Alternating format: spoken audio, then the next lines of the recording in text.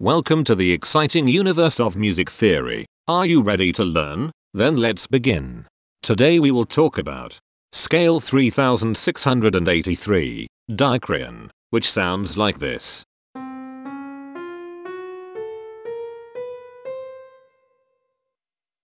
This scale has 7 tones, which means it is called a heptatonic scale.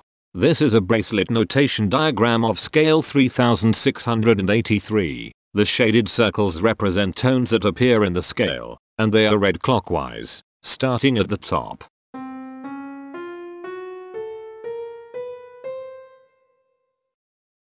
The pitch class set for this scale is 0, 1, 5, 6, 9, 10, 11. The Forte class is 7, 6. This set is not prime.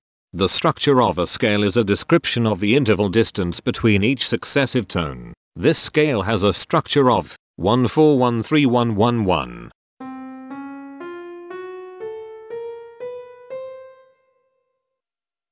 The binary representation of this scale is determined by mapping tones of the scale to binary digits. Each binary digit represents a power of 2.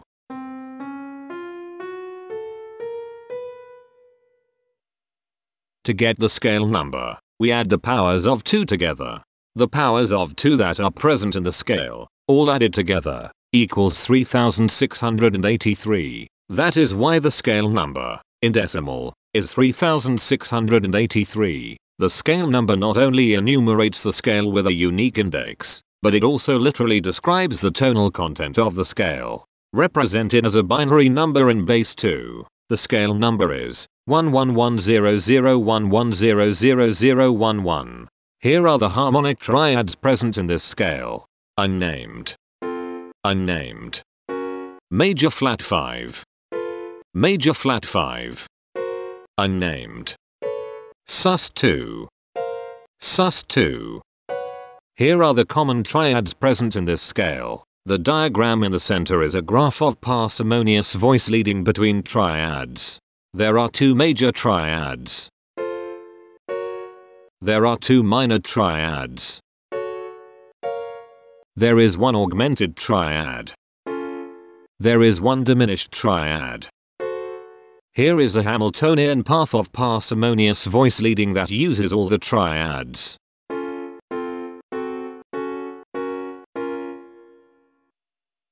This scale has 7 modes. The first mode is itself. The second mode is scale 3889, also known as Parian. It sounds like this.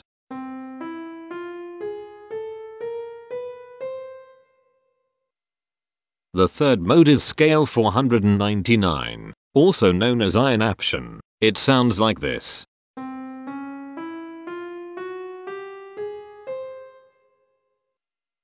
The fourth mode is scale 2297 also known as Thalian. It sounds like this.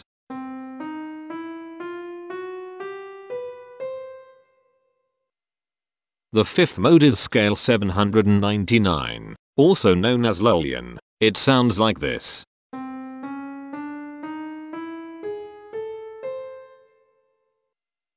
The sixth mode is scale 2447, also known as Thajan. It sounds like this.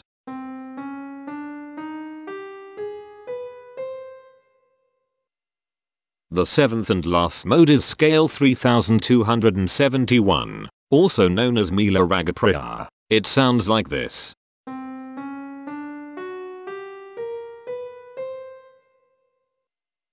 Imperfections are tones that have no tone a perfect fifth interval above them.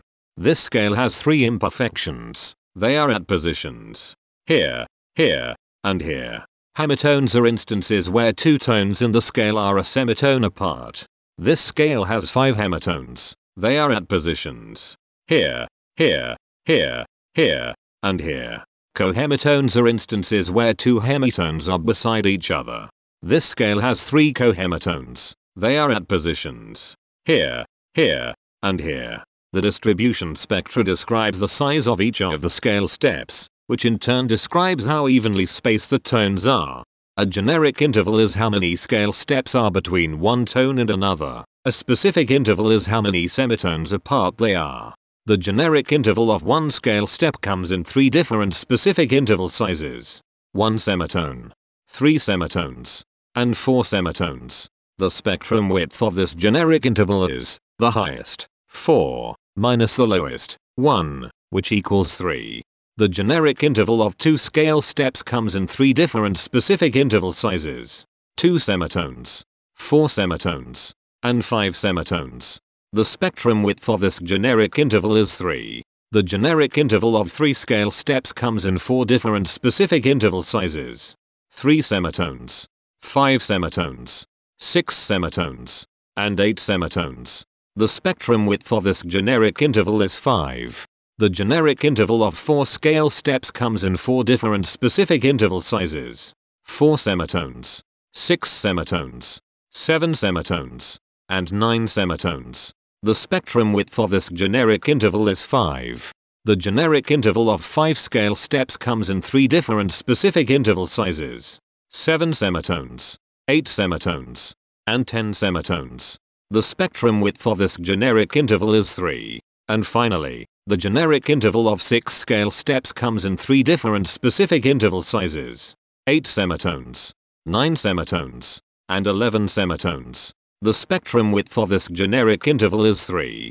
The spectrum variation is the sum of all the widths, divided by the number of tones. The spectrum variation of this scale is 3.143. Since the variation is greater than 0, this indicates that the scale is not perfectly even. The highest spectrum width is 5. Since this is greater than 1, we know that this scale is not maximally even. If every spectrum has exactly two specific intervals, we call that the Myhill property. This scale does not have the Myhill property.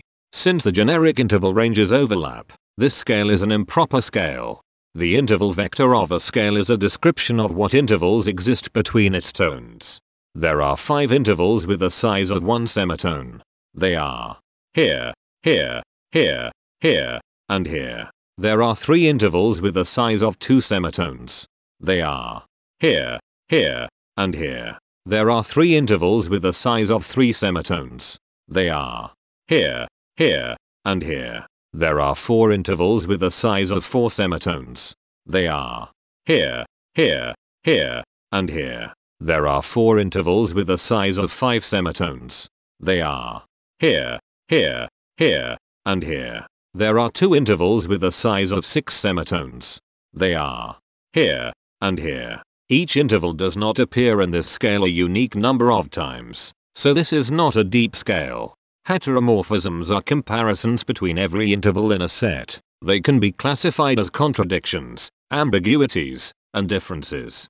A contradiction exists when a small generic interval has a bigger specific size than a larger generic interval. For example, if a generic third interval has a larger size in semitones than a generic fourth interval, that is a contradiction. The number of contradictions in this scale is 45. An ambiguity exists when two intervals have the same specific size, but they have different generic intervals. For example, if a generic fourth and a generic third interval are the same size in semitones, that is an ambiguity. The number of ambiguities in this scale is 26.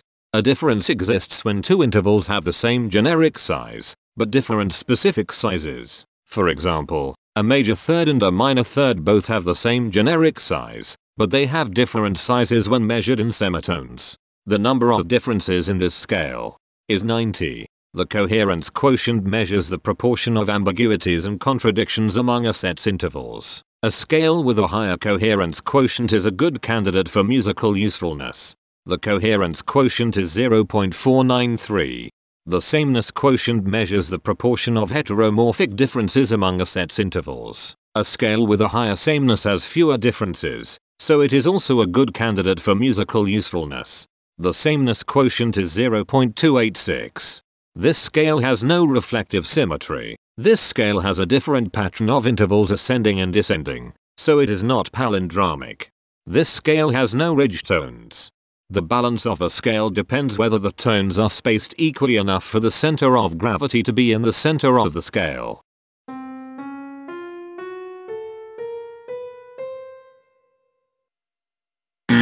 This scale is not balanced. The inverse of a scale is a mirror image. It is what you get when the sequence of intervals is reversed. The inverse of this scale is scale 2255, also known as Dalian. This scale is chiral. It cannot transform into its inverse by rotational transformation.